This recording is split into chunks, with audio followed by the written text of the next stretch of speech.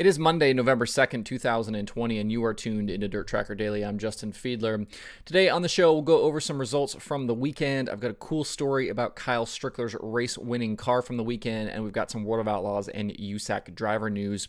But first, this episode is brought to you by Blud Lubricants. Blud carries a high performance line of synthetic racing oils, and they've got you covered for all sorts of dirt racing applications engine oils, gear oils, suspension fluid, cleaning products you name it, they've got it.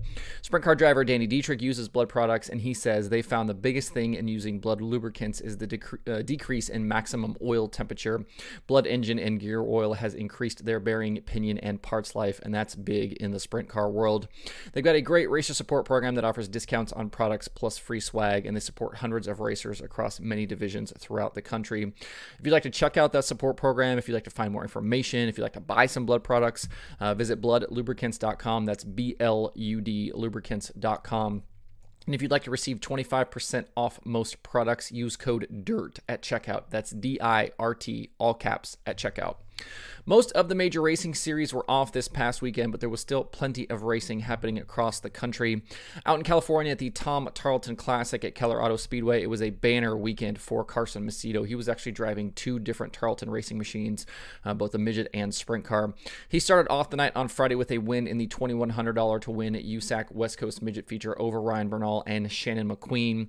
The night's 410 sprint car feature paid 21000 to the winner and included some really big names, guys like Kyle Larson, Brad Sweet, Daryn Pittman, Rico Abreu, Aaron Reutzel, and many, many more were in attendance. But it was again Macedo who was dominant. He started on the pole and led every lap to take the win over Larson, Sweet, Dominic Scelzi, and Pittman. It was a rare opportunity to see many of the Outlaw drivers participate in a big regional race. Uh, if you'd like to watch that race, if you uh, didn't uh, get the opportunity to stay up on Friday night to see it live, that's uh, available in the on demand section of FloRacing. Back here in North Carolina, not too far from where I'm sitting, the World Short Track Championship took place Friday and Saturday night, where seven divisions of racing got to take the big stage at, dirt at the dirt track at Charlotte. In Hornet action, John Wyndham, Walker Wyndham, Joey Kelly, and Chase Hopper all grabbed feature wins. John John Wyndham and Kelly won two each. Braden Pruitt won the mini stock feature for the second straight year. Saturday's pro modified feature was won by Jeff Parsons. It was his third pro mod win at Charlotte. Caleb McLaughlin took the street stock feature in a race shortened by crashes. Brian Mullis was declared the 602 late model winner after initial winner Colton Truel's car didn't pass post race inspection. John Ruggiero was the pro late model feature winner, while Will Harrington won the pro late model all star invitational. And Kyle Strickler led every lap in the UMP modified feature to take the win, while David Stremme won the all star invitational race. Highlights from the weekend are on the DIRTcar YouTube channel, while the entire programs can be watched in the DIRTVision on demand section. Speaking of Kyle Strickler, there's actually a really neat story behind the car he drove to that UMP modified win at Charlotte. The car is actually owned by Ryan Flores, who is the front tire changer on Brad Keselowski's NASCAR Cup car. I talked to Ryan today to get all of the details about the uh, the kind of building of the car and, and actually the story behind the chassis and everything. Flores bought the car from Strickler earlier in the year with plans to put it together so he could take it racing himself. The car was actually a previous winner at Charlotte with Strickler driving, but had since been wrecked by another driver. After it got wrecked, they stripped the car and the busted up chassis was stuck in the weeds behind Strickler's shop. After buying the car from Strickler, Flores and Jerry Kelly, who is a car chief on one of the NASCAR teams at, uh, at Penske, started putting the car back together. Had quite a bit of damage. It needed a front clip and, and a lot of other work to kind of get it uh, back in a place where they could start putting it back together and race it.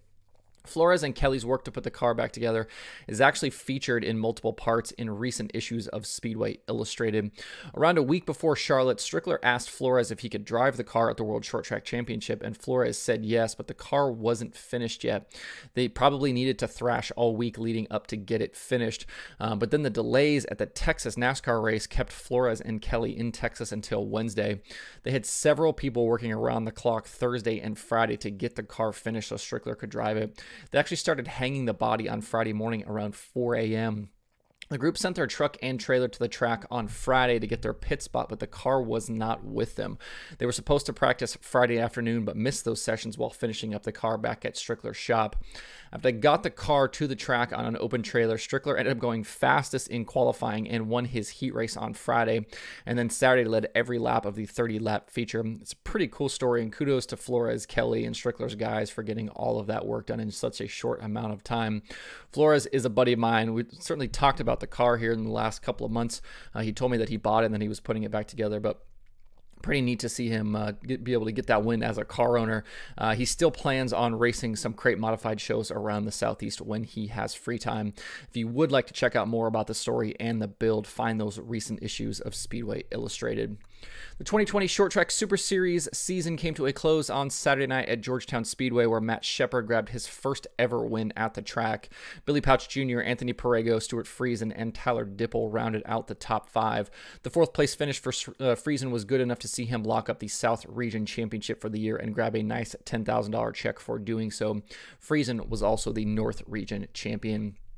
In late model action over the weekend, Tyler Erb won a 10,000 to win show at Pike County Speedway.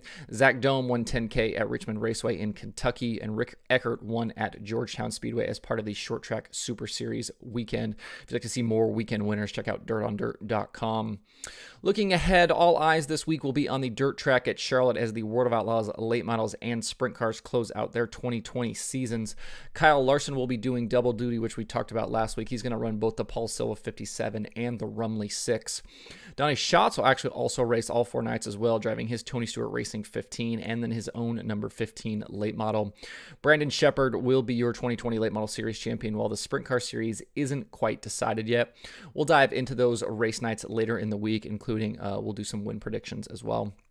In USAC news, Chris Windom will, will, run double duty during the Western World at Arizona Speedway in a couple of weeks. He's going to drive his Tucker Boat Midget and a sprint car for Bill Michael. The Michael owned team won twice earlier in the year in CRA Southwest sprint car action with CJ Leary driving. Also, Justin Grant will run the six race Western USAC Midget Swing with Petrie Motorsports. Grant previously drove a Petrie Midget during the Pennsylvania Midget Swing. It's a quiet day on the streaming services, only USAC 24 7 happening on FloRacing. I don't believe there's much going on tomorrow as well. Action will kick back up Wednesday uh, with late models taking to the dirt track at Charlotte with the World of Outlaws. That will be live on DIRTVision.